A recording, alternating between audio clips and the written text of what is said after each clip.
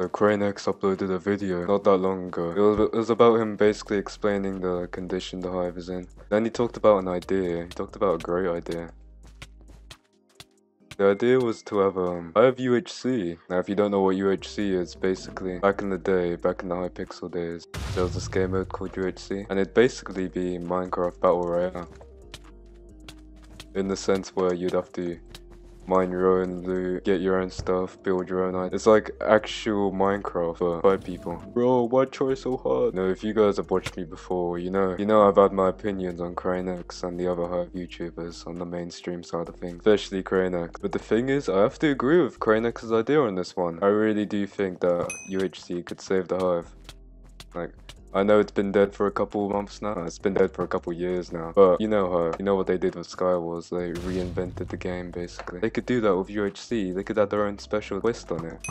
And with Hive PvP, Hive knockback, it could be really insane. It could honestly blow up again. Now, one problem we do have though is that Hive already said a couple of years ago that they weren't going to add UHC.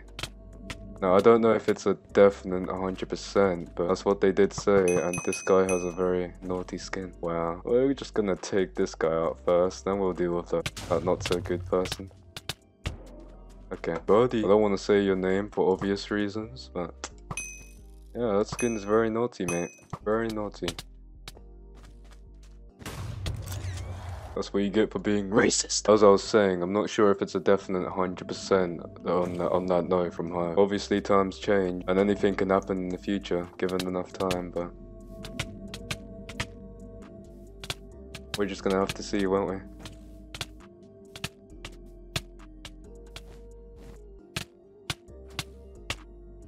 Okay.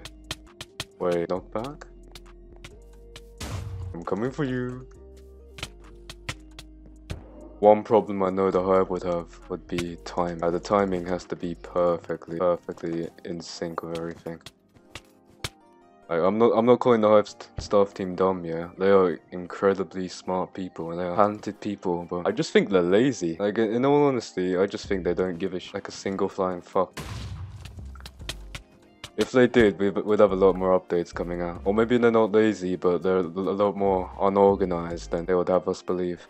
Which wouldn't be surprising to me, considering they have really just done nothing these past two years. This is gonna be my last game since my girlfriend wants to go. That's right guys, he's got a girl and she's real. You know, I know the topic was supposed to be about the how UHC can save Hive, but let's just let's just backtrack for a second here.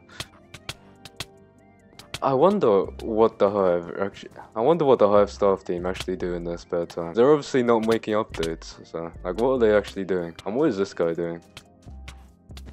Look at him! Look at him! Look at him!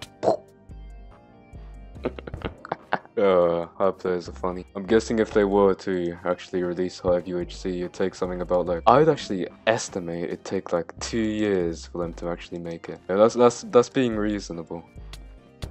I mean, you guys tell me, how long would you think it'd actually take for them to release Hive UHC? Let's say if it, if it was a plan. Like, they said they would release Swarms ages ago, and they just kept pushing it forward until they eventually cancelled it. What the?